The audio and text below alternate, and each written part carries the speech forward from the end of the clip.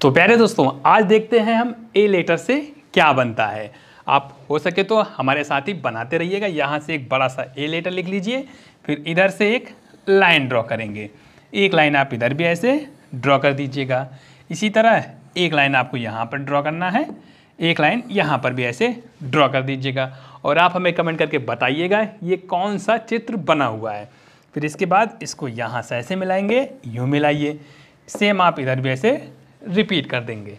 फिर दोस्तों, आपको यहाँ से ऐसे ले जाना होगा। इधर से ऐसे लाइन ड्रॉ करिए। ऊपर के साइड में छोटा सा एक सर्किल बना दीजिएगा। एक सर्किल और बना दीजिए और यहाँ पर ऐसे ऊपर के साइड में ले जाएँगे। बीच से एक लाइन ड्रॉ करिए। इसको यहाँ से ऐसे घुमा दीजिएगा। तो ये हमारा क्या कौन सा चित्र बना है, आप हमें कमेंट करके ज़रूर बताइएगा।